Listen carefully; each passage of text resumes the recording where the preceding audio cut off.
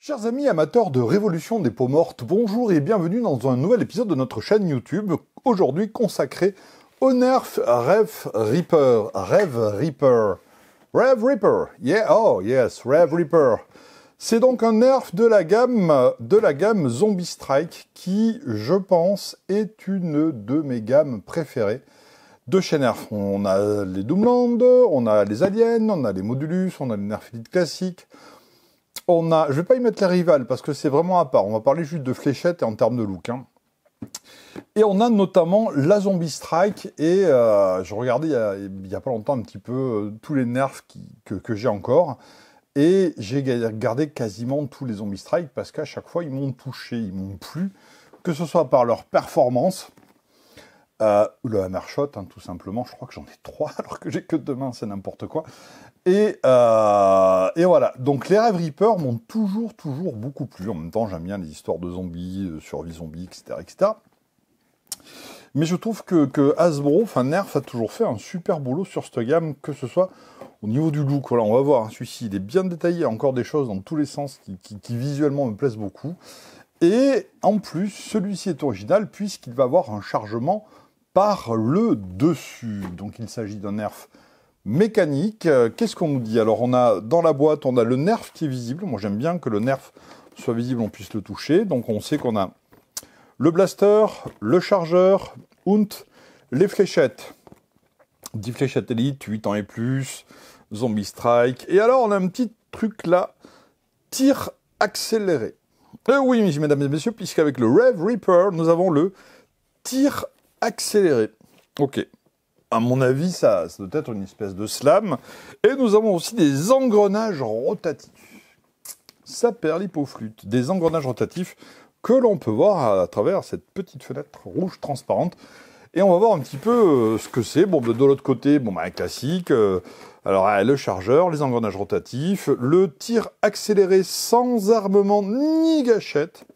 Par la seule force de ta pensée, tu vas tirer plus vite. Tu vas défoncer du zombie à l'appel. Et, euh, et, des petits dessins. Puis moi, j'aime bien leurs petits dessins. C'est là où on voit un petit peu. Bah, voilà, le Hammershot, j'adore. Le Slingfight, j'adore.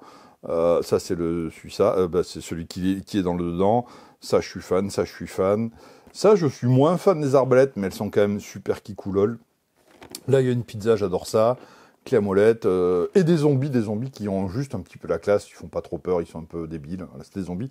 Des zombies qu'on aime bien. Et là, ça nous dit les zombies deviennent plus forts. Et nous aussi, nous inventons du nouvel équipement de combat et faisons équipe avec d'autres chasseurs de zombies pour contre-attaquer. Et oui, Mesdames et messieurs, la domination des zombies est terminée. On va leur casser la bouche.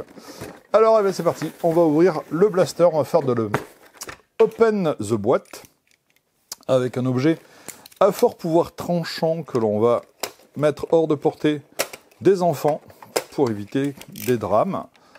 Nous avons donc une, un chargeur, pas une. Nous avons presque un blaster, et oui, presque parce que il y a cette petite chose ici, voilà, le blaster, et nous avons donc les fléchettes que l'on ouvre très très très proprement dans la mesure du possible. Ça, c'est fait, on l'éloigne, on sort les fléchettes. Ça faisait longtemps que j'avais pas fait un, ouvre la boîte. Et normalement, là, tapis dans l'ombre. Il doit y avoir une notice. S'il n'y en a pas, je vais être triste. Triste et malheureux. Attention. Ah Oh La notice. Et je referme. Je referme.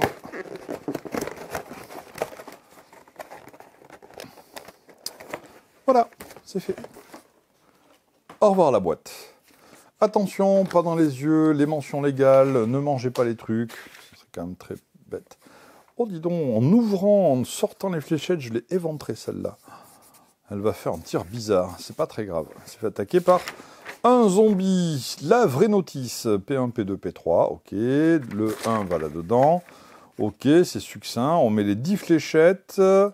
Alors, c'est le 4. Le 4, le 4, ils disent quoi le 4 le 4, il, bah ouais, 1, 2, 3, 4. et tutuc, voilà. T'as quoi T'as une explication là quelque part qui te dit non, il n'y a que des chiffres. En fait, il y a des chiffres et il n'y a rien qui correspond aux chiffres.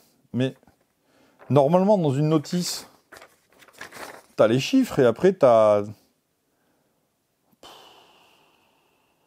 Rangement du nerf pour un fonctionnement optimal, ne range pas les fléchettes dans le chargeur. Ok. Reload. Ah oui, là, ça c'est le reload. Ah voilà, tire la poignée à fond pour tirer une fléchette. Épette, parce qu'ils n'ont pas mis le R de répète. Donc c'est épette les étapes 3 et 4 pour tirer une autre fléchette. Donc, l'étape 1, tu mets les fléchettes. L'étape 2, tu mets le chargeur. L'étape 3, tu fais tic, tic, tic, tic. Non, tu la mets vers l'avant. Ah voilà, ça y est, j'ai compris. C'est parti. Mon esprit brillant et supérieur vient de comprendre. Effectivement, quand ils nous disent sans gâchette, c'est parce que vous pouvez constater que sur ce nerf, que ne voit-on pas Ici, où il devrait se trouver une petite détente orange, eh bien, il n'y a rien. Ça veut dire que tu peux mettre ton doigt là, tu peux le mettre dans ton oreille et tirer quand même. Si tu fais ça. Les engrenages qui sont rotatifs. Yeah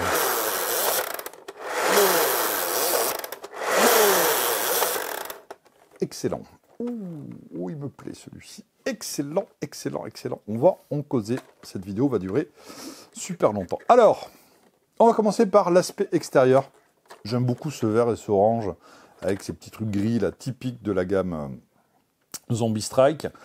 Toute la coque, le design, le dessin, l'assemblage du, nerf lui-même, ils ont fait en sorte qu'on ait l'impression que ça a été récupéré. Là, alors ça, là, c'est génial, l'espèce de la chaîne qui a été récupérée avec des boulons qui la tiennent, alors que ça aurait pu être une chaîne toute normale.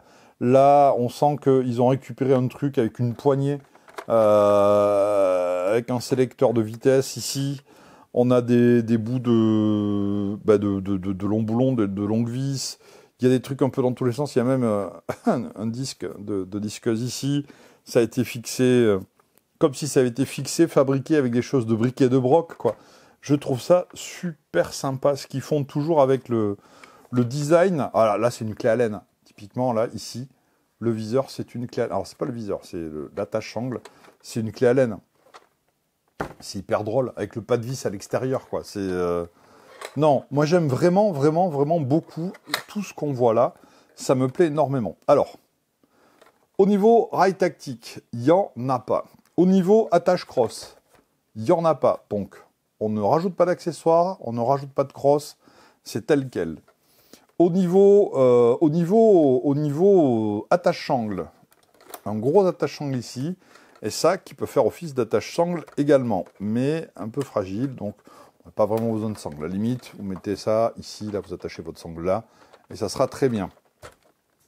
On n'a donc pas de détente, on a juste ça qui va servir à propulser les nerfs.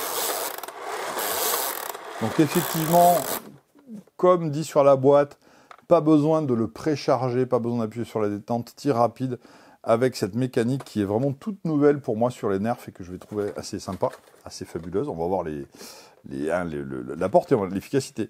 Là, la trappe pour venir désenrayer. Voilà, si jamais il y a une fléchette qui se met de, de traviole à la sortie du, du, chargeur, on peut désenrayer par ici et le bouton pour probablement éjecter le chargeur, mais c'est pas probablement, c'est même sûr. Comme d'hab sur les nerfs, le titre Red Reaper, la gamme Zombie Strike, la marque Nerf, et de l'autre côté, ben non, on va pas s'embêter à colorier les deux côtés. Hein. De toute façon, hein, on s'en fiche. J'ai très envie de tirer des fléchettes. Ah, on va continuer dans le look, le chargeur, qui ressemble grosso modo à un chargeur Nerf classique, sauf que là, ils ont rajouté comme si c'était des petits bouts de barbelés. Euh, là, il y, a des, des petites plaques. Quand on voit un faux ressort. Là, il y a, une lame de, des petites lames de scie. C'est euh, ouais, ils se sont éclatés quand ils ont fait ça. Ils se sont dit bah, tiens, qu'est-ce qu'on va pouvoir mettre? Et je trouve ça vraiment super sympa. Et on va y mettre les fléchettes. Hop, des fléchettes, les fléchettes. Tom Tom, tu es prêt? Commence à serrer les dents, mort dans un morceau de cuir ou un bout de bois, pour essayer de ne pas ressentir la douleur. Parce que quand tu pousses des petits cris aigus ça s'entend à la caméra et ça fait peur aux gens. Donc ça, c'est la, petite fléchette qui est déchirée, donc je ne vais pas la mettre. Tiens, celle-là aussi, elle est déchirée. Alors, soit j'ai été particulièrement barbare, j'ai pas eu l'impression. Plus que ça. Donc on va les remplacer par deux fléchettes en bon état. Puisque je, je ne veux pas risquer quoi que ce soit. C'est quand même la vie de ton Tom qui est en jeu, donc on va les écarter. Bien L'objet, le chargeur que l'on va mettre à l'envers, comme ceci. On appuie délicatement, c'est dans le dedans. Pas besoin, contrairement au nerf mécanique, de armer la pompe, mettre le chargeur, puis ramener la pompe, puisque c'est comme ça sur la plupart des nerfs mécaniques à pompe. Là, c'est inséré. Si je veux l'enlever, j'appuie ici, j'enlève mon chargeur, tout va bien. Je remets donc avec un doigt, c'est merveilleux. Et là, tout va se passer très très vite. Alors, une fois que le chargeur est engagé, est-ce que cette trappe bouge librement? Oui, toujours euh, librement, donc pas de souci. Là maintenant, d'habitude, je réarme. Je dis Tom Tom, tu es prêt, tout ça, papa, papa, papa. Mais là, j'appuie sur les détente. Or, de détente, point il n'y a. Donc je vais, je vais, euh, je vais, bah, je tiens fermement mon blaster avec ma mini-mine, dont je n'ai pas parlé, je n'ai donc pas parlé du confort de la... Ah t'étais prêt, Tom Thomas? Je suis bavard, ça fait longtemps, on n'a pas fini. Donc, du coup, on a une très très bonne prise en main, quelle que soit la taille de ta main, ça devrait bien se passer. On n'est pas gêné par les angles ici, donc on, est vraiment, bien sur la poignée. Et ici, on est pas mal non plus. Et donc là, je vais, euh, ben, ça va tirer tout de suite, quoi. Alors ça tire Normalement, quand la poignée vers l'arrière ou quand je la ramène vers l'avant? Qu'est-ce que. Eh bien, c'est quand elle est vers l'arrière. Et là, Tom Tom n'était pas prêt parce que ça l'avait saoulé, il avait rebaissé sa main. Donc, quand elle est vers l'arrière, ça tire et quand elle est vers l'avant, non. Quand elle est vers l'arrière, ça tire et quand elle est vers l'avant, non. C'est rigolo, ça, a une patate Ouais, Tom Tom me dit euh, ça, la patate. Bon, je vais tout vider sur Tom Tom.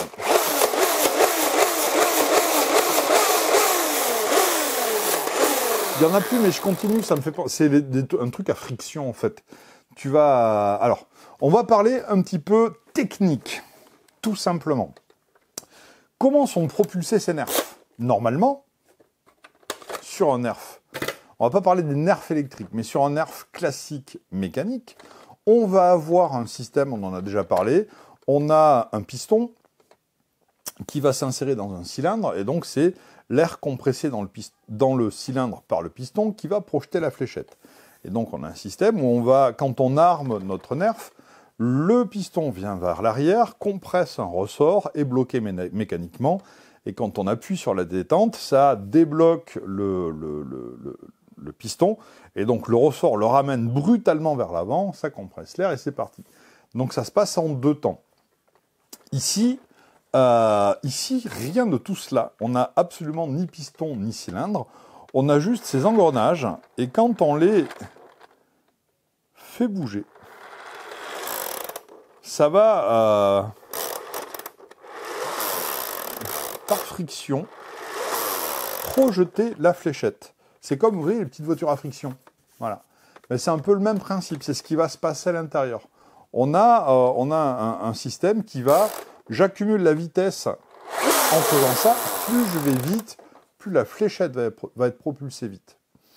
Et vous allez voir dans... Alors, je ne sais pas à quel point ça se voit. Tom Tom, tu vas me dire. On a une petite tige verte, orange, qui va avancer. C'est-à-dire que je vais... Tu me dis quand c'est bon Voilà. Là, la manette est vers l'avant, il ne se passe rien. Je la ramène vers l'arrière, ça commence à, à faire tourner les engrenages. Et là, quand j'arrive au bout, pop, vous voyez, la petite tige orange, on a la friction qui s'est accumulée ici. Donc on a une bonne vitesse. En fait, c'est le même mécanique, ça va faire tourner les rouleaux comme, les nerfs électriques, hein, sauf qu'on le fait nous-mêmes. Et c'est ça qui va propulser les fléchettes. Et quand on arrive ici, c'est prêt, hop, on a la petite tige qui va pousser la fléchette et la mettre euh, dans le système de propulsion. Et c'est parti. Et on ramène vers l'avant, la tige revient vers l'arrière. Hop, et c'est comme ça que ça tire, tout simplement. On accumule la friction, on fait tourner les galets, et c'est parti. Ouais, c'est cool.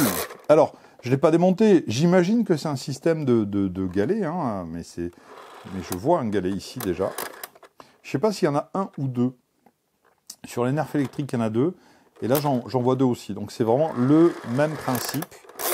Et euh, je vais essayer. Alors, on va mettre nos deux fléchettes, deux fléchettes ici, parce que je vais voir à l'intérieur comment ça se passe exactement. Voilà.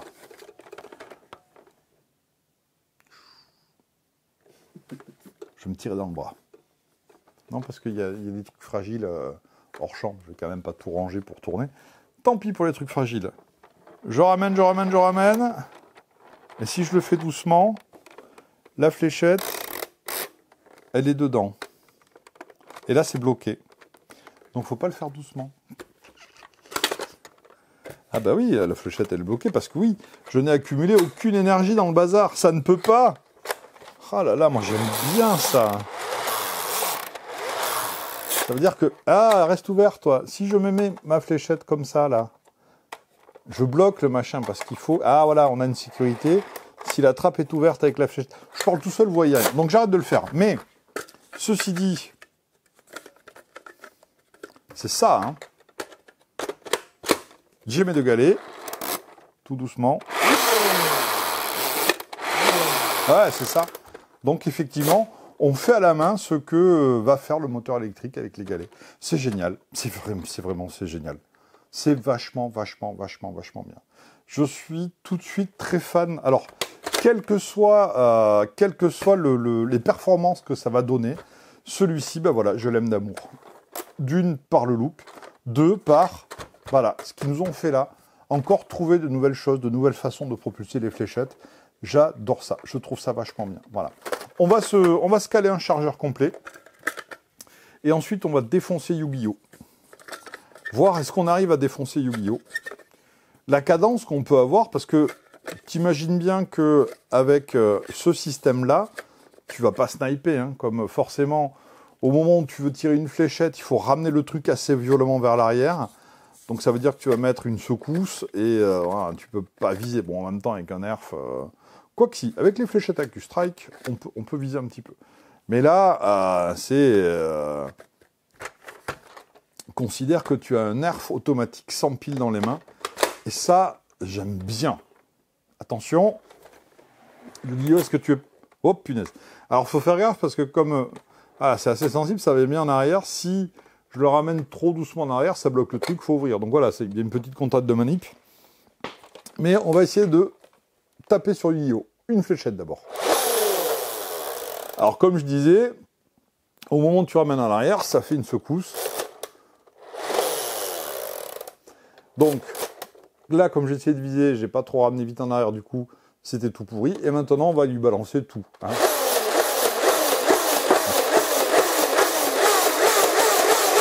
C'est génial C'est génial Sérieux C'est nul euh, c'est génial et en même temps c'est nul. C'est génial parce que c'est nul parce que j'arrive à rien mettre dans la cible. Mais tu t'en fous, c'est pas grave, c'est génial. Voilà. Donc euh, en termes de, performance, de précision, de, grosses patates, si tu veux faire un truc un peu tactique dans, ta nerf game, un truc comme ça, bah non. Par contre, eh, si tu veux te fendre la poire, c'est excellent. On va juste faire un dernier test. Est-ce que on peut mettre autre chose que ce chargeur-là? Est-ce qu'on peut mettre un chargeur neuf, un chargeur neuf, classique? La réponse, tout de suite, oui, on peut mettre un chargeur nerf classique. Et là, et là, et là, et là, et là, on se dit, ah, ça bonne patate, tout ça. Est-ce qu'on peut y mettre encore autre chose? Eh bien oui, parce que si je peux mettre ça, je peux mettre aussi les, les chargeurs tambours de 25 fléchettes. Et là, 25 fléchettes que tu vas tirer en rafale, on commence à causer un petit peu sérieux. Alors, j'en ai pas sous la main parce que, évidemment, comme tout sur cette chaîne est préparé longtemps à l'avance, très écrit, tout, on a tout sous la main. Bon, bah, j'étais juste allé chercher ça un peu à l'arrache en me disant, oh, quand même, je sens que, voilà. Et je n'ai pas prévu de prendre un drum sous la main. Mais je pense qu'en plus, avec un drum, ça doit avoir un look un petit peu badass, de la folie de la mort. Magnifique, donc c'est le Nerf Rev Reaper de chez Zombie Strike, de chez Nerf, de chez Hasbro, de chez Mercy Camille de nous avoir envoyé ça parce que c'est trop de la balle. Vraiment, vraiment. Alors, vraiment, j'aime beaucoup, beaucoup, beaucoup ce blaster. Il est super original. Et dans le look, et dans le chargement des fléchettes, et dans le système de propulsion. Oh là là, je suis ravi. C'est trop bien. Quelle vie formidable. Sur ce, chers amis, on va se quitter. Euh, je vais vous demander juste une dernière chose avant qu'on se quitte. Mettez un pouce bleu, mettez un commentaire et, éventuellement, je le dis en fin de vidéo, mais ça je devrais le dire en début de vidéo, désactivez AdBlock pour que cette chaîne puisse nous rapporter des milliards de YouTube Money afin que moi je puisse aller me faire tailler la barbe, hein, puisque quand même ça, devient n'importe quoi, et qu'on puisse acheter plus de nerfs, plus de du matos et tout, faire venir des invités. Si on a des sous, on peut venir des invités. Voilà, ça peut être sympa ça aussi. Dans les invités, bah, faire revenir Stéphane, faire venir Broche, faire venir euh, Iggy de la chaîne Iggy TV, qui n'a rien à voir avec les nerfs, même s'il aime beaucoup ça, me suis-je laissé dire. Mais pour... Bon, bref, allez, hein, cliquez, mettre des pouces, mettre des pouces, ça veut rien dire. Après, en même temps, il y en a un qui dit pouce, on s'en fout. Oh, c'est compliqué les fins de vidéo. Ciao, ciao